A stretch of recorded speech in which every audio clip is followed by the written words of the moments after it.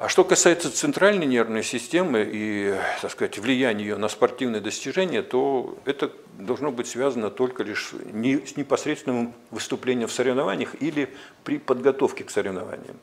Действительно, бывают такие состояния, когда, которые характеризуют как мандраж.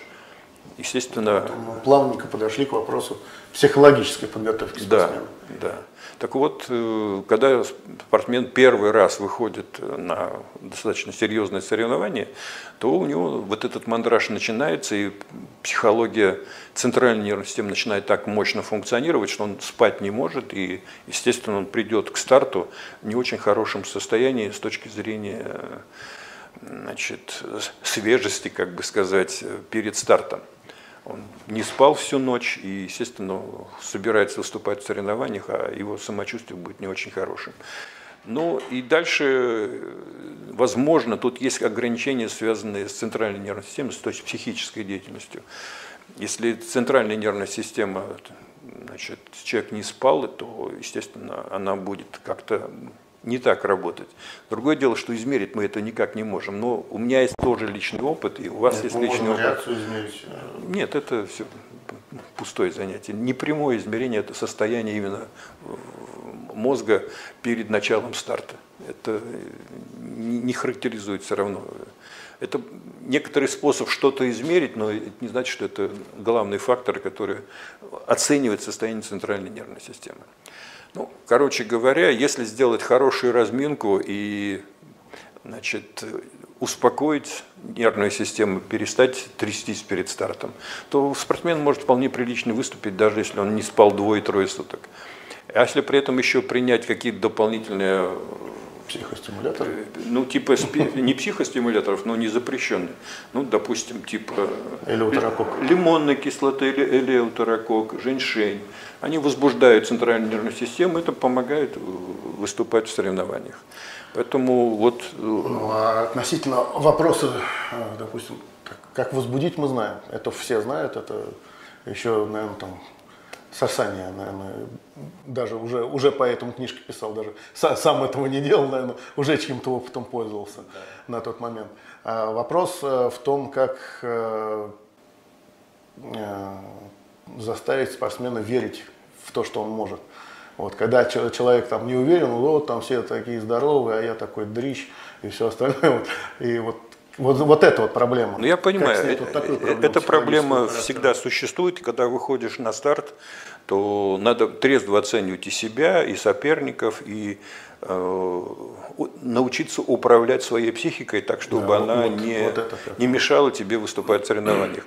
Так, э, психологи давно выработали так называемый идиомоторный метод тренировки, который э, позволяет ну, как бы снимать э, вот это вот возбужденное состояние. Человек должен перед стартом научиться управлять своей психикой. Для этого он должен как бы внутренне разговаривать с собой и объяснять самому себе и своему организму, что он собирается делать и как он должен потом себя вести в условиях соревнования.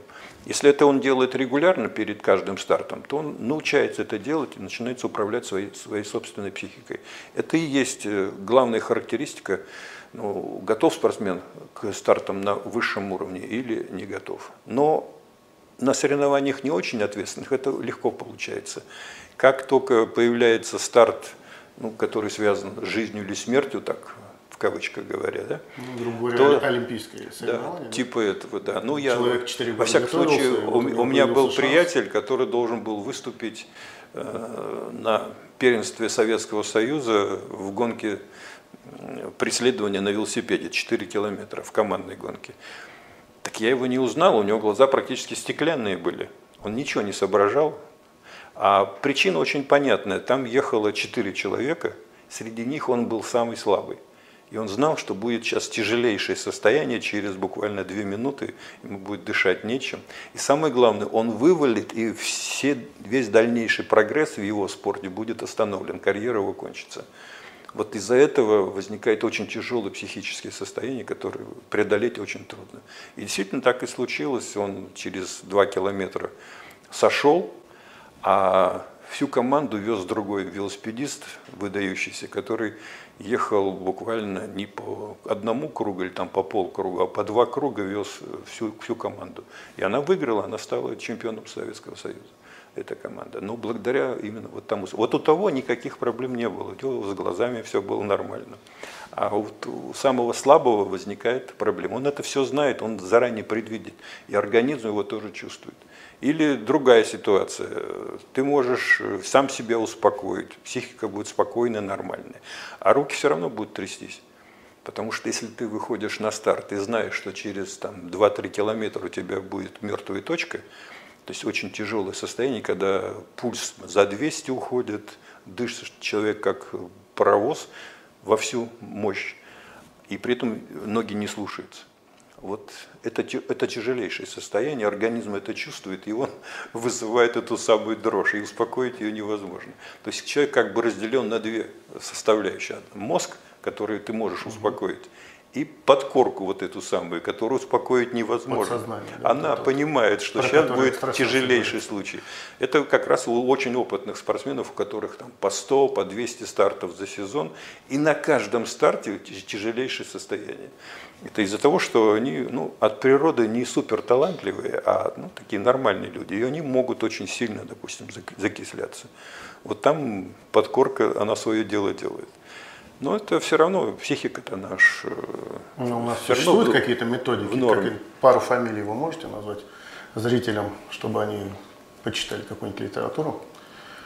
Взяли где-нибудь в библиотеке, либо в интернете, нашли что-нибудь и почитали вот из этой области аутотренинга, да, вот это вот. Аутотренинг, идиомоторная вот тренировка. Да, пару фамилий. Я думаю, что это очень давно разработано и, значит, э, у нас кто-то в Союзе занимался? Да, надо просто открыть книжку по учебник по психологии, это очень по психологии спорта, и посмотреть, э, ну, тот же самый Рудик, как бы еще живший в 60-е и 80-е годы, уже тогда было известно про, про всю эту методику. И можно было бы посмотреть рекомендации, которые идут из учебника Рудика и Пуни, допустим.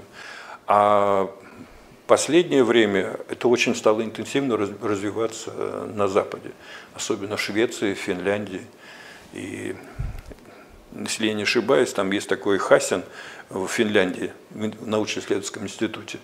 Вот он как раз тоже проблемой психологии занимался, в том числе и, и, и этими вопросами. Но пока каких-то супер достижений у них нет, да? То есть теория есть, но есть ли какое-то практическое применение? Нет, есть практическое при, применение у людей, которые при этом еще обладают ну, свойствами гипноза, допустим.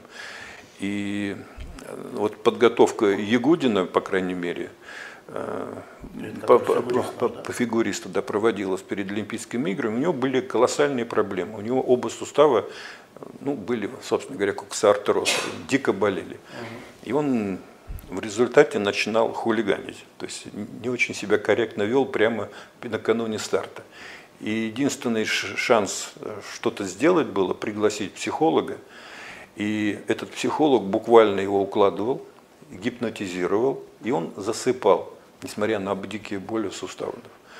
И в итоге получилось так, что он прекрасно выступил, выиграл Олимпийские игры. Только благодаря тому, что вот удалось организовать э, правильный сон накануне старта с помощью психолога, То, который, который его успокоил. Он буквально всю ночь сидел рядом с ним. Если что-то он пытался проснуться и что-то начинать делать, он его тут же успокаивал. Это известный случай, даже книжка написана. Ну, наверное, раскрыли тему более-менее, да? То Отчасти, да. То есть э, теперь все знают, что ЦНС не несет, скажем так... Э, Думать, что ЦНС лимитирует работоспособность. работоспособность на тренировках и в соревнованиях, это не очень корректно, потому что объективных данных для этого дела сейчас пока не существует. А то, что на финише, допустим, стайерской гонки какой-нибудь, да, в велосипеде, в беге, там психология играет значение с точки зрения выигрыша на последних метрах, это безусловно. Но это не значит, что значит, э, наши бегуны бегут десятку за 29 минут. Все остальные бегуны, кенийцы, там, эфиопы, бегут за 26 минут. Возникает вопрос, что за счет что- психологии что можно три минуты сбросить? Нет, не получится. Вот надо бежать те же самые 26 минут, бежать на равных, и только тогда может какой-то вот психологический эффект сработать. Там кто-то потерпит побольше, кто-то сможет каким-то другим способом там, поменять технику, допустим, бега, и таким образом умудриться. А поменять технику, значит, психическая деятельность должна быть направлена на то, чтобы более рациональную технику выбрать. Но это вот э, сейчас, к сожалению, отдают э, внимание на Олимпийские игры, говорят, что психологическая подготовка самое главное. На самом деле сначала физическая подготовка, техническая подготовка, и только в самую последнюю очередь, когда вот вы уже на равных с кем-то соревнуетесь, возможно, психологический фактор сможет сработать. До этого, если результаты нет, неравные, бесполезно думать, что психика может как-то повлиять на результат. Спасибо большое за развернутый ответ. Увидимся, наверное, в скором времени. Встретимся еще, о, чем, о чем-нибудь поговорим. Спасибо всем за внимание.